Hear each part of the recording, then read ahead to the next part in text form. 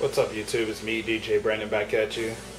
I haven't seen y'all in a few days, but I'm gonna show y'all. Uh, I'm still getting questions how you mount the LCD on the speaker stand. And um, the biggest I would recommend putting on a speaker stand would be a 26 inch. I got a 25.5 um, Asus monitors. They're uh, you get them on eBay for around 100. I mean, uh, 320 every piece. So I got two now. I'm about to order two more uh, which I gotta wait for them to come in. But uh, but anyway, um, I'm gonna show you the bracket I use on the next. As you can see, this uh, if you're probably familiar with this brand, it's Dynex. You can get it at Best Buy. Sells for $49.99. It's a pretty much fixed wall bracket. Can hold from a 15 inch LCD to a 32 inch LCD. Um, supports up to 50 pounds. So if you look at the manufacturer of your uh, screen, it'll tell you, like the small monitors, it'll tell you the actual compatible uh, sizes here. I'm going to show you English here. Um, 75 by 75 millimeters, 100 to 100 to 200 by 100, 200 by 200, or 300 to 200. Um, but once again, it holds up to um, uh, 50 pounds as you can see here. This is the bracket itself.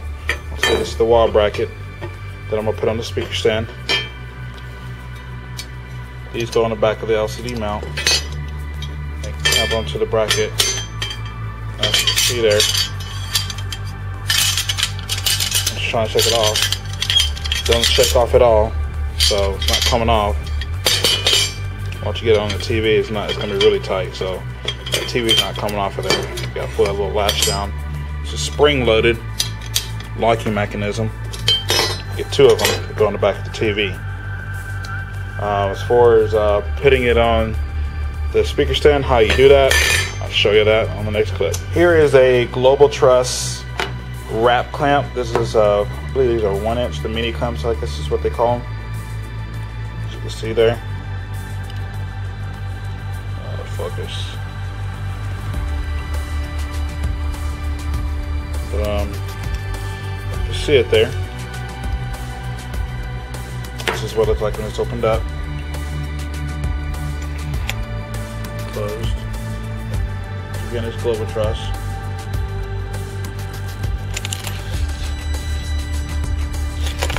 There's other manufacturers out there, but I recommend using metal clamps so that way you know it's going to be strong. They also come in two inches too, two inch Global Truss wrap clamps that wrap around their larger truss. And I'll see y'all next clip. Here is the bracket right here. As you notice, I'm using two clamps. Um, how to uh, do a little bit, a little bit of modification. These holes are too small, so I just made it just a hair a little bit bigger. And as you can see here, this part right here wraps around the speaker speaker stand. And you pretty much throw it up there and screw it down. It's kind of hard to do it with one hand, but it pretty much screws down. As you can see there. Here's the speaker stand. Once again, this is the speaker stand.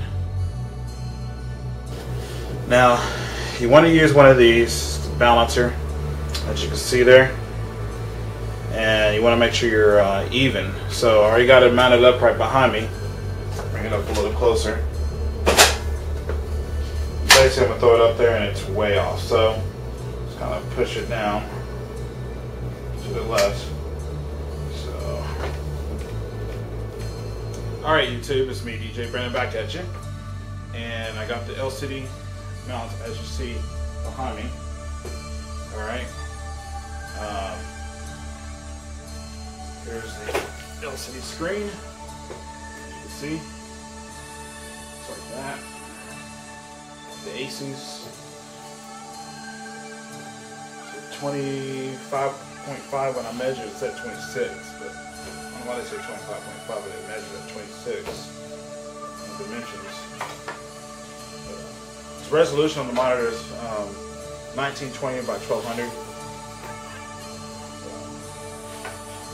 Show you on the next clip how to get that mounted up there.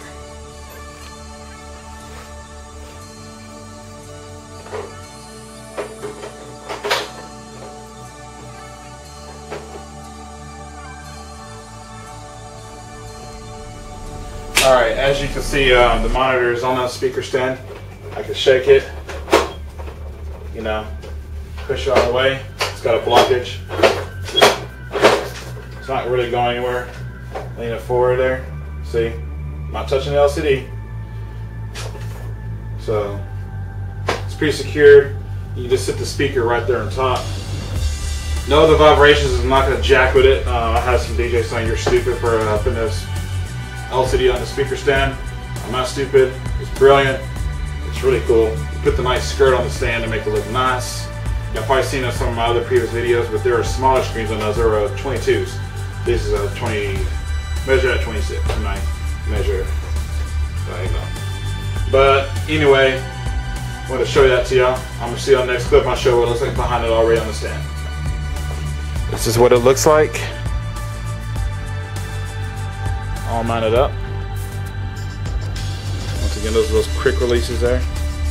That's how it's holding it together there, as you can see.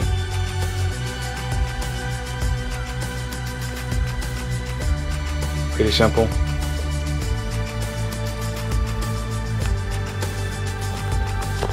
The connections I got. I'm Gonna have an HDMI with and DVI. Those are the two main connections I use. Got VGA uh, digital coaxial for digital audio, left and right audio in, optical out, and audio out, component video in. This monitor can actually, you can hook up a Blu-ray player up to it. Uh, it's an Asus as you can see. There's the model number.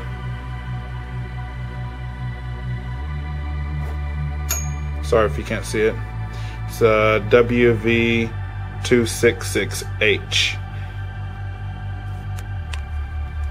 This is where the base was mounted on. Take that off. Still got the plastic on it. I'm gonna pull that off here in a few minutes. But um, gonna be running four of these on four speaker stands.